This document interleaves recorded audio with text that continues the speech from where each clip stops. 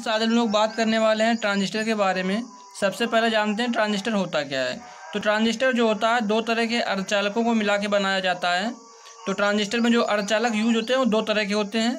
एक होता है पी टाइप और एक होता है एन टाइप जो एन टाइप होता है, उसमें चालन के लिए जो हमारे जिम्मेदार होते हैं, वो हमारे होते हैं इलेक्ट्रॉन्स और जो हमारा पी टाइप होता है, उसमें चालन के लिए जो प्रयोग होते हैं, वो होते हैं पॉजिट्रॉन्स यानी होल्स तो फ्रेंड्स इसका एक डायग्राम डायग्राम देख लेते हैं। तो फ्रेंड्स ये आप डायग्राम देख रहे हैं तो ये हमारी जो है पी टाइप अर्धचालक है, ये एन टाइप अर्धचालक है, और ये हमारा पी टाइप अर्धचालक है।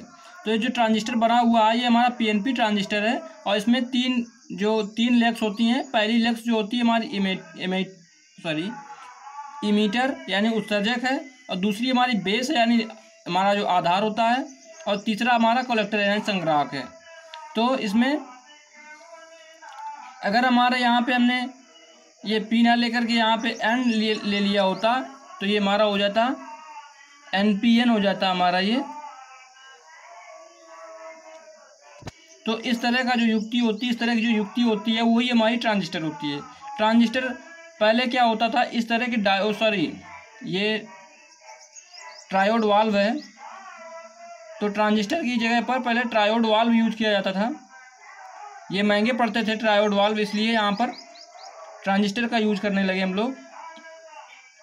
और ये जो ये जो होते थे तो ये हीटिंग बहुत एब्जॉर्व करते थे, और जिसकी वजह से हमारी जो इलेक्ट्रिसिटी थी, होती थी, बर्बाद बहुत होती थी। तो उसकी जगह पर हम लोगों ने यूज़ किया ट्रांजिस्टर को।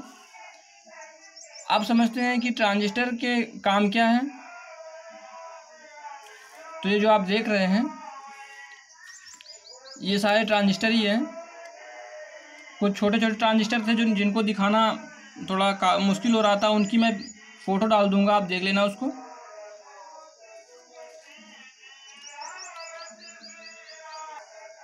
और फ्रेंड, ऐसा नहीं है कि जो ये एमीटर और इमीटर और बेस और कलेक्टर हैं, ये सब में इसी जगह पर होंगे। ये क्या होता है? इनको डायग्राम के हिसाब से बनाया जाता है तो सर्किट के बेस पर बनाया जाता है तो इनको जहाँ पे हमारी मतलब कि आसानी रहती है सर्किट में लगाने के लिए, उस हिसाब से बना दिए जाते हैं। तो ये हमारे जो ई बी सी होते हैं, ये कहीं भी हो सकते हैं। ये मॉडल पर निर्भर करते हैं कौन सा मॉडल है और किस पे ई बी सी किस जगह पर होते हैं। तो ये एकदम एग्जैक्ट नहीं है। ये आपको डेटा सीट डाउनलोड करनी पड़ेगी नेट से। उसका नंबर डाल के कंपोनेंट का उससे मालूम पड़ेगा कि कहाँ पे इसका ई e है कहाँ पे बी है कहाँ पे सी है।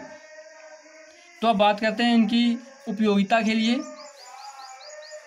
तो फ्रेंड्स इनका उपयोग एम्पलीफायर के लिए किया जाता है।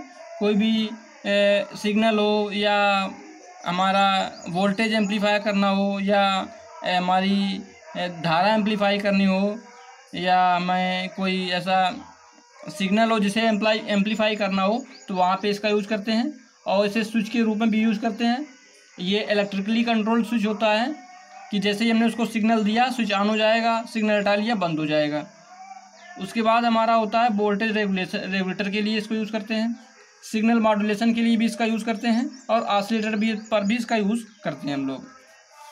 अब देख लेते हैं इसका डायग्राम तो फ्रेंड्स मैंने डायग्राम नीचे दिखाया हुआ है ई बी सी उत्सर्जक संग्रह उत्सर्जक आधार संग्राहक। और ये इसके कुछ टाइप्स हैं। मैंने टाइप्स भी दिखाए हुए हैं।